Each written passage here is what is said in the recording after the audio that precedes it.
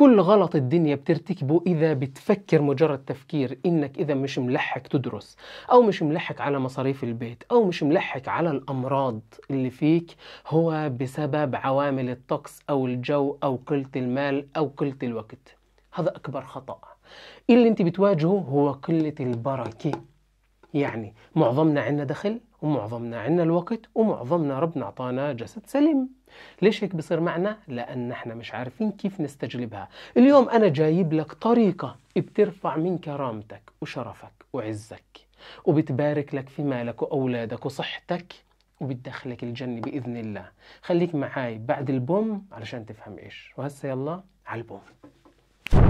السلام عليكم ورحمة الله وبركاته. شوي شوي. أصدقائي أنا حسان بدران. لو أول مرة بتشوفوني بتمنى أنكم تدعموا القناة باشتراك وب like وبتعليق أي شيء اكتبوا؟ اكتب لي مثلا الله يوفقك. اكتب لي مثلا آه اكتب لا إله إلا الله بالتعليق. لكن هاي التعليقات بتدعم الفيديو بتقول يوتيوب ها هذا مفيد فانشره. يلا اكتبوا أي شيء خلينا نفوت في الموضوع. أنا جايب لك فعلا طريقة تعزك وترفع قدرك تدخلك الجنة وتبارك لك.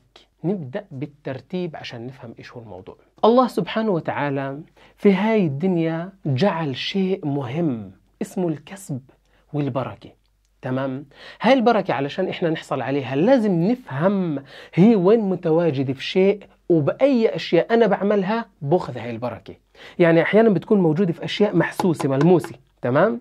شيء أنا إذا قربت عليه بتبارك تخيل؟ ربنا قال في القرآن يعني هذا مش حسن قاعد هيك يعني اقرأ وبتشوف. فهاي الأشياء إذا أنا بقرب منها بتبارك وبتبارك شو معي. وفي أشياء إذا أنا بذكرها أو بعملها يعني بيني وبين نفسي بتبارك أو بتتبارك أموري. مثلا لما ببر والدي ربنا ببارك لي في أموري صح؟ هذا مش شيء محسوس يعني أنا ما شيء رحت عليه لمسته لأ. يعني بريت والدتي مثلا قلت لها أنت يا حلوة يما يا قمر إيه شو أخبارك يا حاج؟ والله منور والله مسيطر على الجو كله لأبوك مثلا. فبتحس إنه هاي البر وهاي الطاعه وهاي اللطف ببارك لك أمورك. لكن في أماكن في العالم كحجر كشيء يعني كشارع مثلا بتروح عليه الله سبحانه وتعالى ببارك لك.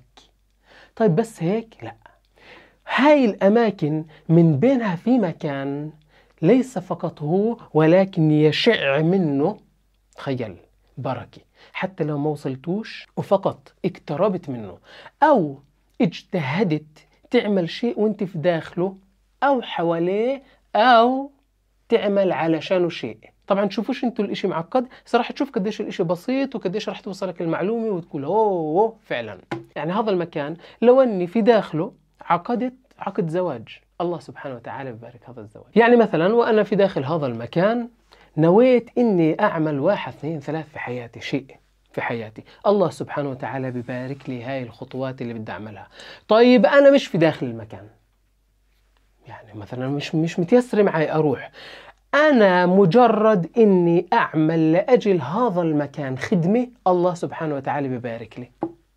نبدأ في الأماكن اللي الله سبحانه وتعالى باركها نفسها جعله مبارك. راح تحس انت اللي أنا بقوله. إن أول بيت وضع للناس للذي ببكة مباركا. للذي ببكة مباركا وهدى للعالمين.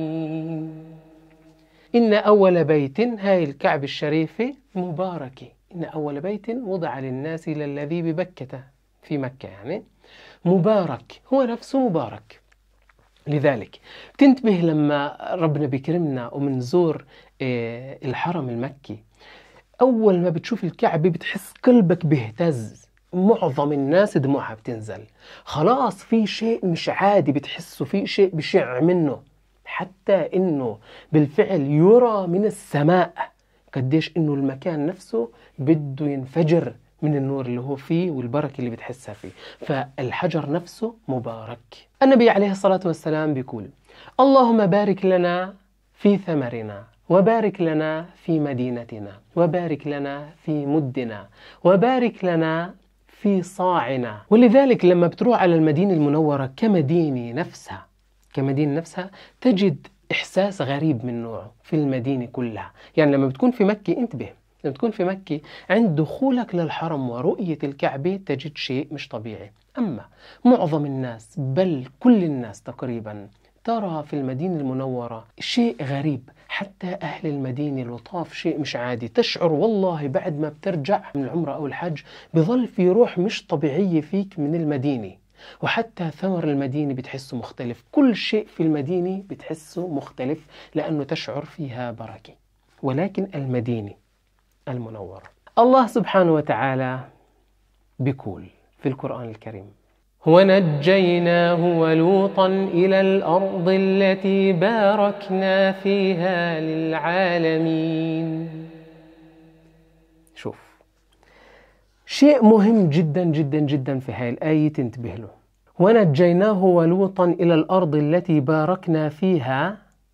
ليش مش للمسلمين؟ للمؤمنين للعالمين. هذه الأرض ألا وهي بيت المقدس. هذه الأرض بورك فيها للعالمين. لذلك تجد شيء غريب. تجد من يحكم بيت المقدس يحكم العالم. يعني الذي يسيطر على بيت المقدس هو الذي يسيطر على كل العالم وبيده كل شيء في العالم ترى يعني عسكريا إعلاميا اقتصاديا إيش بتتخيل؟ بيكون هو مسيطر مبارك فيها للعالمين. فهي نقطة مهمة جدا ممكن تقول بس والله يا حسان أنت بتحكي مع مين؟ يا زلمة هاي البركة للناس اللي بتصلي وبتصوم بتزكي. أنا عندي خطايا كد الدنيا. أنا أبصر شو أنا لو شو ما أعمل من أجل المسجد الأقصى ومن أجل القدس على الفاضي. البركة فيها بالنص القرآني للعالمين لا للمسلمين ولا للمؤمنين. فأنت اعمل من أجل الأقصى أو اوصل للأقصى أو روح على القدس أو اخدم القدس والأقصى تصلك البركة. إلك منها نصيب.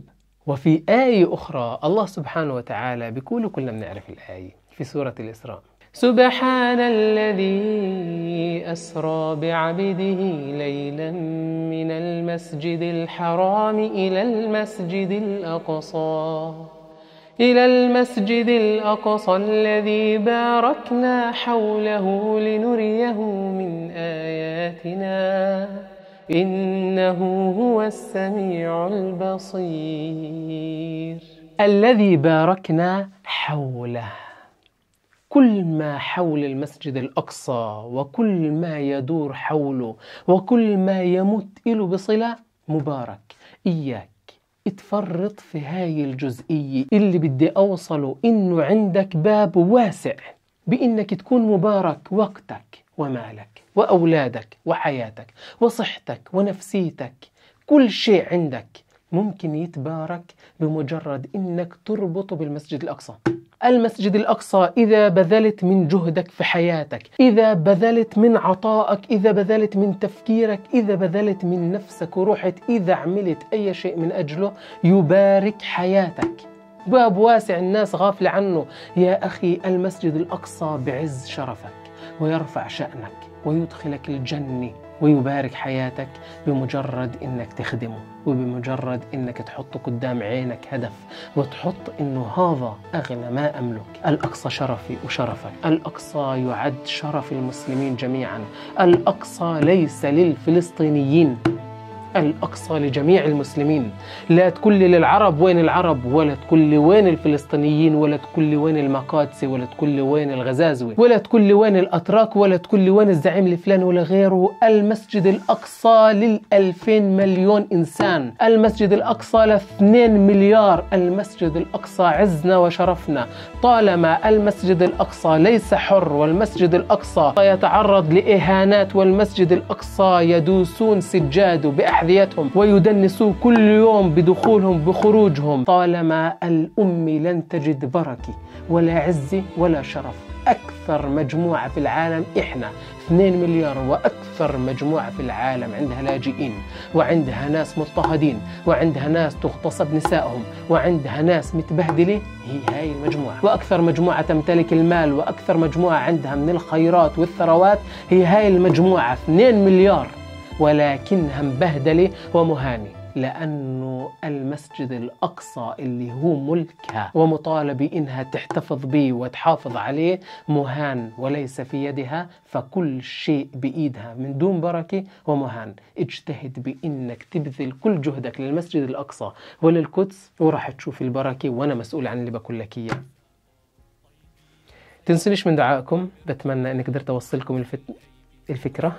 سامحوني إذا أخطأت. وألقاكم في الأقصى قريبا وتشرفونا على فلسطين. الكرم الإصرار العالي لأجل الأقصى يهون الغار. والجالي الجلل الإيمان ينتفض بوجه الطغيان. وأهل القدس الحرة مدارس لعزيمتهم الله الحارس. يا خيي من وين ما تكون من أي